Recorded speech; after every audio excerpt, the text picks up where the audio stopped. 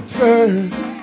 He's here right now. He'll fix your heart if you let him. He's the comforter. Oh yeah. I'm he right here right now. Right. If you're young, if you're old, he'll take control. Whatever your needs, he'll get right in the midst of your situation. All you gotta do is trust him. He'll fix every problem. All you gotta do is trust him. Who am I talking to? Oh yeah, he'll fix every problem. All you gotta do. Oh somebody, he'll fix every problem. All you gotta do is trust him. Come on, lift your hands and praise him. See, here's what I hear the Spirit saying right now. Listen, listen. Somebody got him a unique problem. You got unique desires. That's why so many people are stepping outside of grace because you got unique yearnings. You got special yearnings. And the enemy has told you that God don't understand. That's why we got all the alphabets in demand. Because they think that the Holy Spirit cannot minister to those unique desires.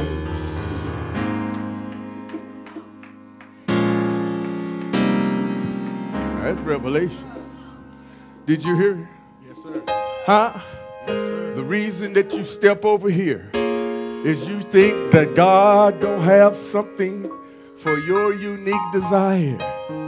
Why does a married person step over here? Because he, he or she thinks that what they need is not, not in that person. Why does a single person step over here? Because they think that it's not in God. Why does a person drink and get addicted? Because they think that the Holy Ghost cannot meet that desire. Huh? Come on. There is no human being, young or old, that God don't have the answer for. But the answer is resting in God, being not afraid. He has something for every uniqueness of your soul. That's why we have perversion. We think that my desire cannot be satisfied in the parameters of God's authority. So I step outside to get my nourishment. I go somewhere else to get it. And then God says, because you have done this thing, I cut off your joy. But joy comes in being within the parameters of God. And that thing that drives you to Satan is what creates your uniqueness in God when you let God fix you.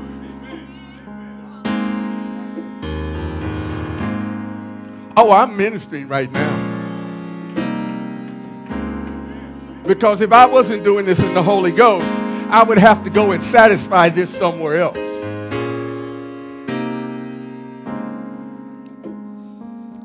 But this is also in you. What looks crazy to somebody else, when you let God get a hold of it, it becomes creativity. It becomes your uniqueness. This is why we got all the alphabets. Because they say, I don't fit in. But there's nothing that God has created that you can't fit in. Because God created everything and it was good. But when you bring it under his umbrella, he takes that and then he creates something that's beyond Z. See, we are beyond Z.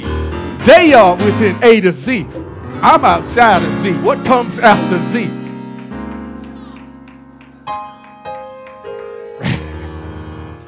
That's why the world don't understand you and it don't understand. Come on. You outside of Z. I'm not an A, I'm not a B, I'm not a G, I'm not a T, I'm not a, a Q. I'm outside of Z. And that's why if you're in the world, you can't understand me.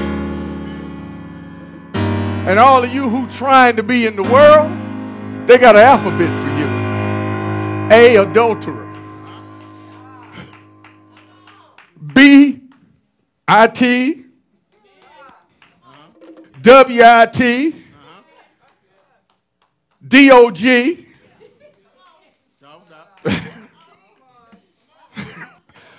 There's something for every one of them. M. But when you get in God, you ain't in none of them.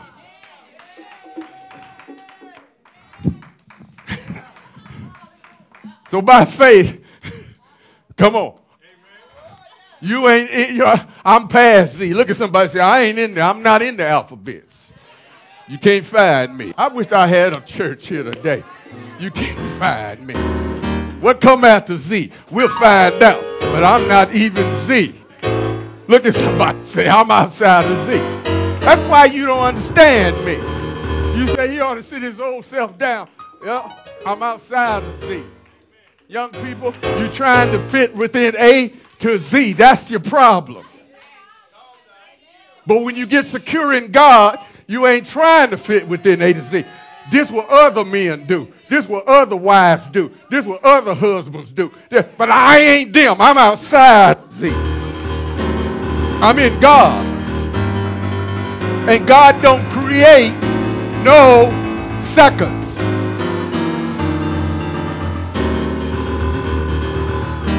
So to get to know you, they got to know God. That's been your problem. You've been trying. Come on, somebody. I wish y'all would shout with me. Ain't that the problem? You ain't no you you ain't no LBGTQ. You get offended if I try to put you in one of them. And they didn't call you one of them alphabets in your lifetime. Uh, ain't they? But the truth is you ain't none of them. so you go to God to find out what is you. Your identity comes from your father. So when you look at me, you can say something different about him. You know what? I'm looking at you, something different about you. Stand on your feet. Let's give God a praise. Don't, don't try to figure me out. You ain't going to be able to. Somebody say, I can't, I, I don't understand him. You never will. Just try to get, understand God for you. Don't worry about me. Look at somebody say, don't worry about me. Don't worry about me. Cause, cause, cause, cause, cause he even got a name for you that nobody know. He got a name for you hidden that don't nobody else know. He didn't tell me your new name. He didn't tell me, Marcus, your new name. It ain't my business what your new name is. He ain't even told you yet but if he will. I ain't lesbian. I ain't homosexual. I ain't male chauvinist. I ain't none of that. I'm something beyond that. I'm in Christ. Hey, somebody, come on. Come on. I ain't your nothing. I'm outside of that. Come on. Praise the Lord. I ain't sick. I ain't de- defeated. I ain't, oh, y'all ain't saying nothing. Don't put no alphabet on me. I ain't an ex-con. I ain't nothing.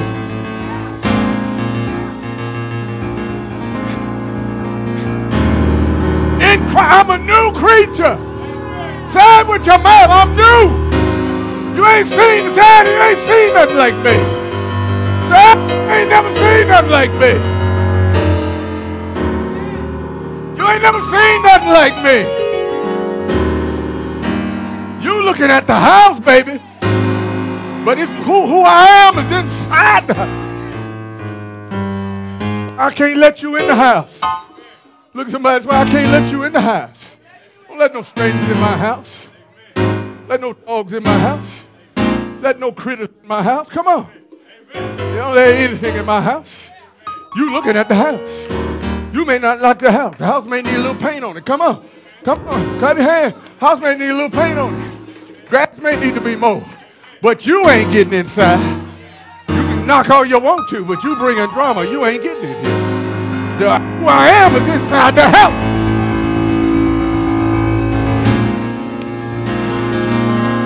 Why you standing out there looking, criticizing? I done painted up. I done moved stuff around. Hello, come on. I done remodeled.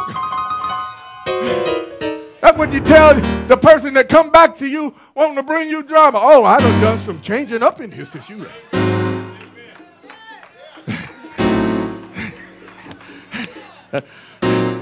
come on, pray. They like, yeah, let me back in. Oh, no, I done done some changing up in here since you. Brand new. You can't just walk in dirty shoes no more. Come on, come on. Do your stuff out. Come on, give God praise.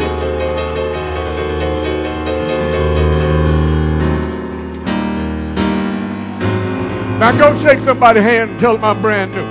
Come on, get out your seat. Y'all done made me preach. Y'all done made. Right. Go shake somebody's hand. Come here, Marcus. Lay some on. Good to see you, man. Brand new creature, bro. God bless you. Appreciate you. Appreciate you, lady. Appreciate you. Man, I know you're brand new. I know you're brand new. God bless you, daughter. God bless you. God bless you. Give her. Bless you. Bless you. Brand new, sister. Brand new, Sister Connolly. Brand new.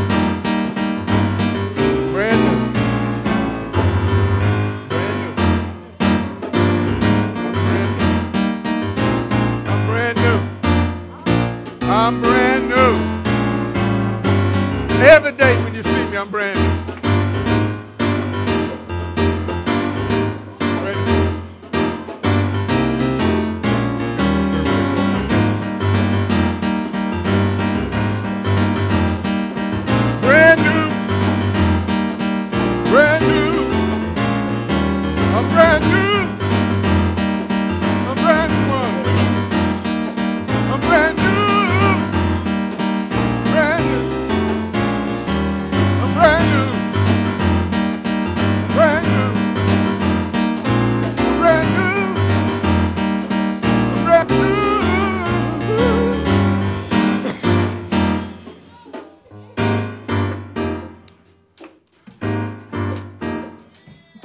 look like I looked yesterday. I don't look like I looked yesterday.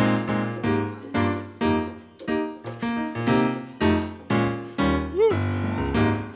I don't look like I looked yesterday. I don't look like I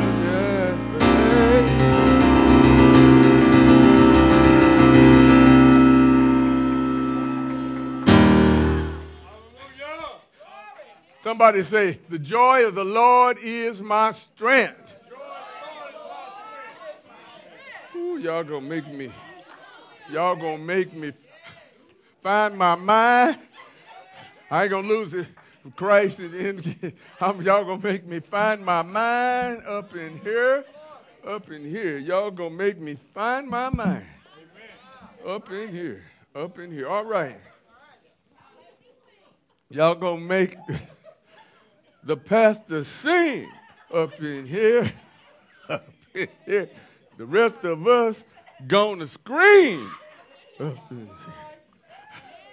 No, no, she sings real good. She sings good.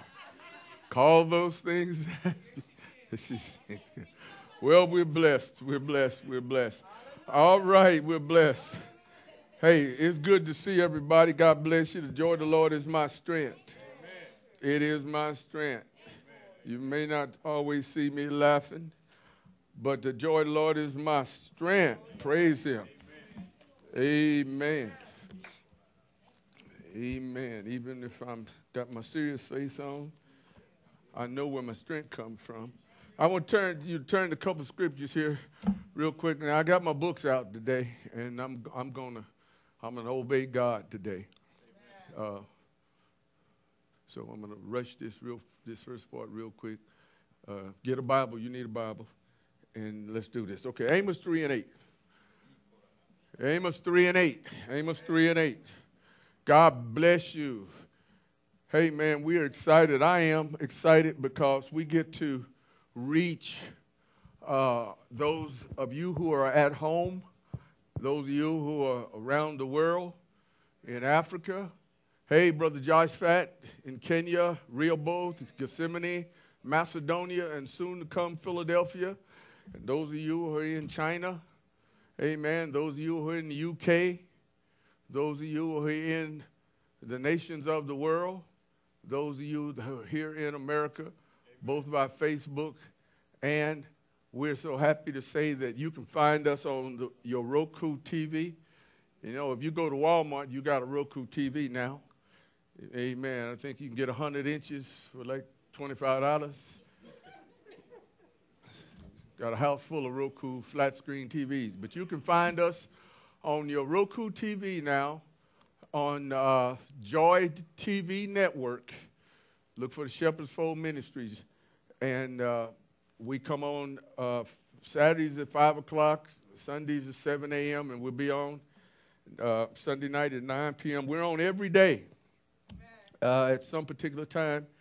And so if you're just looking, uh, uh, you can get video on demand and you can keep up with us. We're going to be doing a lot of fun stuff and a lot of informative stuff. Amen. We're getting ready to launch our uh, marriage classes online. We're getting ready to, on, on, on Roku TV, uh, we're able now to reach out to uh, 45 million subscribers. And, and uh, that's a great jump. Uh, we've been for about a year, nine months to a year, we've been uh, on TV in Wagoner, Oklahoma, and Muskogee, Oklahoma. And so as of Wednesday, we're plugged in now to be on Roku, and I know we're in various parts of the United States already because I've already gotten some reports. I'm excited about it because there's a lot of things we're going to do. We're going to showcase some of our ministers, our, our great praise team. They're going to be on doing some things. Uh, it's just so much is about to happen. So you want to uh, be one of our partners, praise God. If you can't get out, at least uh, plug in. Praise the Lord. So we're excited about it. I'm, I'm excited about that. Amen. As we got some great ministers around here and great ministry Amen. and great people that you're about to see. Uh, but Amos chapter 3, verse 8, let's start there. Praise God. Hallelujah. Hallelujah. And we thank God for our own minister, Ramon. Williams. Amen. He's been, he's been such a blessing to us, and he has a dual a tri a, a tri uh, tri tri citizenship. He has one in heaven. He has one uh, here, and he has one with another local church. But he's a kingdom person. So when you're in the kingdom, uh, you know, membership. We have new membership classes that are, we've just started for all you who are wanting, who are new members or wanting to be a member. Amen. You need to get with Pastor Robinson and Minister Terrence. Praise the Lord. And uh, ministers, uh, Pastors Pam and Wayne and Pam Lee, who are, who are absent today, but get with them. And, and uh, our First Lady, uh, uh, Sister Janelle Conley, and uh, so we can get you kind of scheduled to get you in some things so that you can be on the same page with us.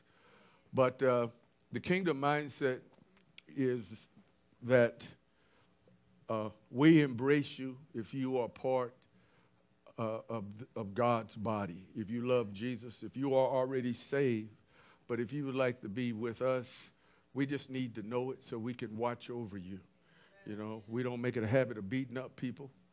Amen. But, you know, we need to be able to, to pray for you. And when you're sick, you know, we, we do, through with God's help, we, we, we do a good job of trying to take care of people when they're sick around here.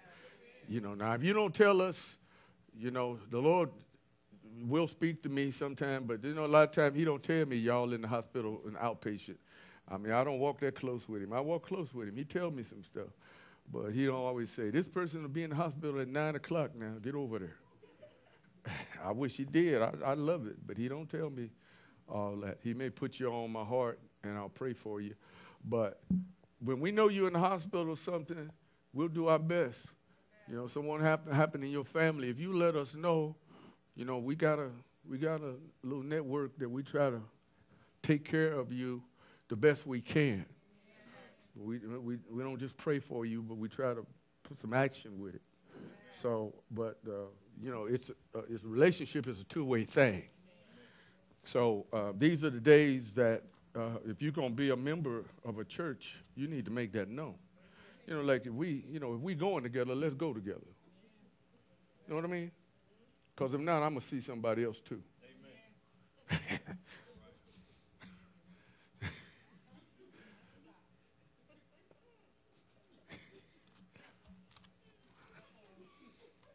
okay, I shouldn't have said that. That didn't sound good, did it, Marcus? uh, you know, I, I was just, keeping the game real, though. but no, that's how you do it. If we, if we, if we, uh, if we won, let's let's be one, okay? All right. Huh? yeah. Well, that was a joke. That was a joke. So don't don't y'all get mad around here. Don't judge me. Yeah, yeah, yeah, yeah, yeah. Don't don't try it. It was a joke. So, you know, y'all gonna have to learn when when a joke is a joke and and when something's serious, man. You can't be up. You can't be that uptight about everything. You know, y'all sit and watch BET laughing and watch Steve Curry them cuss and fuss, and then the preacher say something, and y'all take it to heart for real, man. Just trying to lighten y'all up a little bit. Y'all too heavy, huh? huh? Yeah, yeah, don't get mad at me. I'm just joking. I'm, I'm a bad dude. My wife's sitting up in here. I'm to say all that. She, she know me. She know I'm playing. Yeah, she know I'm playing. I was born at night, but not last night. Okay. Uh, Amos 3. Amos 3 and 8. Praise the Lord. God bless you. Thank you. Amos 3 and 8. All right, we got it. The lion have roared. Who will not fear? The Lord have spoken. Who can but prophesy? The lion roars. Lion roar. Who will not fear? The Lord has spoken. Who can but prophesy? So I'm going to prophesy today. I'm, I'm going to prophesy out of what God has given me. And so I always have to make that a make that known to people who may not be used to prophecy in the way that I'm going to bring it because, you know, a lot of people ain't. So the lion roars. Who will not fear? The Lord has spoken. Who can but prophesy? We go to church and we hear preaching, and, and we want to be encouraged and we want to preach. But we just done that. I just uh, exhorted you Amen. to preach, and I just did that. Amen. So now I'm going to give you a prophecy. And, and I'm not going to say, Thus said the Lord about it. Okay? So you, you probably need to write it down or, or be mindful of it.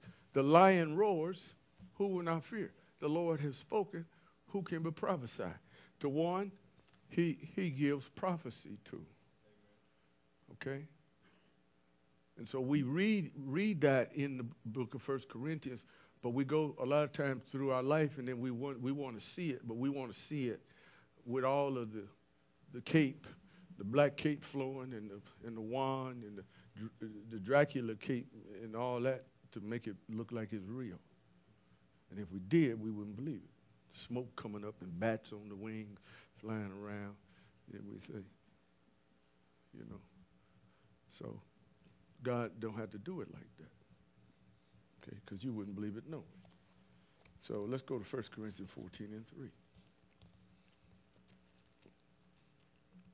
Because the Bible teaches us that God will give, give uh, a word of uh, wisdom, a word of knowledge. And so prophecy uh, uses the word of knowledge. Are you with me? Yeah, yeah, word of knowledge, just supernatural facts into the future. And so we, we're willing to understand that if somebody tell us tomorrow doesn't so going to happen. But when you read the Old Testament, it is a big word of knowledge telling you about the future, supernatural facts. So why would God have Isaiah, Ezekiel, and all of them tell us the big picture and then love us so much that here we are and in this day not care about people in the little circles that we live in. Now, this is what I want you to understand. Remember the scripture that God is so high that he has to humble himself to look at earth, um, to, excuse me, humble himself to look at heaven, but then he also observes earth. He's so high that he see he has to humble himself to see heaven. But then he's so loving and merciful that he sees beyond the heaven and he observes those, the inhabitants of the earth.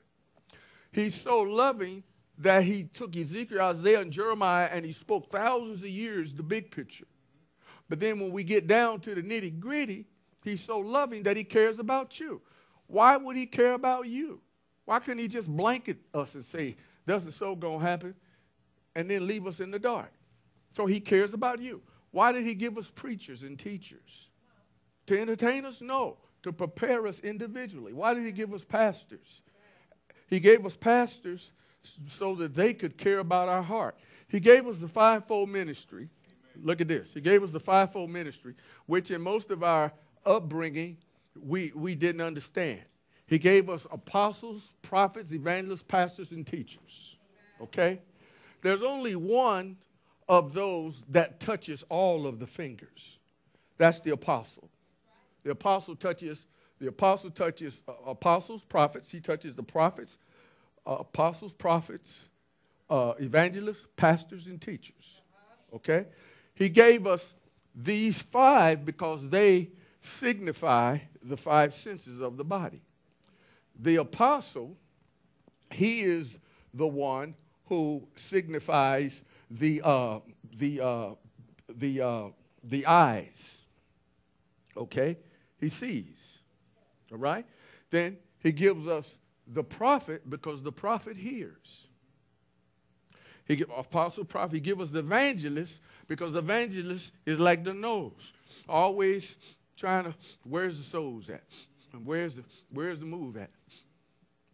He gives us apostle, prophet, evangelist, pastors. He gives us the pastors because the pastors, they are the ones, they are the nurturers. Okay? They touch. Apostles, prophets, evangelists, pastors, and he gives us the teachers. The teachers, what's the last sense? Uh, what's the last one? The, the uh, last uh, sense? Taste. Okay? The teachers give us a taste of what the word is. They break it down so we can actually taste revelation. But what we do if we don't understand that God don't just give us pastors who pet us all the time. That's why people get offended when they run into apostolic people, prophetic people. I just want a pastor. He liked me. He, he put up with my jive time all the time. He's a nurture. Touch me. He, I go to him and cry bring him the same old mess. That's what, that's what your mama do. Mama, mama. Your daddy don't do that. He get his gun and ready to go out. But see, we're in the last days, and God is, is to get you ready, you need to at some point be uh, he needs to have that class. You don't just go. When you was in in first grade, you had one teacher all day. You was used to one spirit all day. But now, what God is trying to get you to do is to get you ready, is to get you familiar. We can't get past the foundational. That's why you're having to deal with apostolic foundation right now. A lot of folks, the shift is they want to stay with the pastor. And the pastor, he just allows everything. He's just glad to have you because we were building churches we let you come in any kind of way because we, we were seeker friendly. Okay, boy, it's going to be trying to make it short. Yeah, you let them come in. LGBTQ, A, B, C, D, D, F, G, and you never said nothing because it was all about the look. Everybody looked like the church, oh, that church is getting big. Look at all the people. It was swole. It was sickly. Everything was in there. People were doing everything. And the pastor had no backbone. He couldn't say nothing, wouldn't say nothing. Because if he did, if 29 people left, it'll be the talk of the town. 29 people left. They leaving. All the folk is leaving. He nervous. Y'all come back. Y'all come back. Because he's a pastor. An apostle lays a foundation. Foundation has to do with what God wants, what God don't want. You can't live this way, you can't live that way. Stop this, do this. Paul came in, he wasn't in there saying, okay, you got a bunch of uh, all the LBGTQ, ABCDs in here, all right, just let them, you know, we hope they'll be right. But no, he said, get them out of here. And if you read your Bible, that's what the Bible says. See? Prophet come in, he, he, he, uh, he, he hears the word of the Lord. Thus said the Lord. We don't like it. Going to kill you. Okay. Get your sticks and stones because I ain't changing it. See? Apostle, prophet, evangelist come in, he stirs up the people. Come out your sin. Da da da da. We're going to kill you too. I'm moving to the next town. So, you know, I won't be here. The pastor, he has to nurture. All right, y'all, come on. Calm down, calm down. Now let's Let's A, B, C, D, E, F, G, H, I, J, K. And then the teacher breaks the revelation down. Now, here's what he was saying. See? That's fivefold ministry. Okay. But there's been a shakeup. See? So if you're looking for church the way it was, you're never going to find it because there's been a shakeup. Okay, 1 Corinthians chapter 14.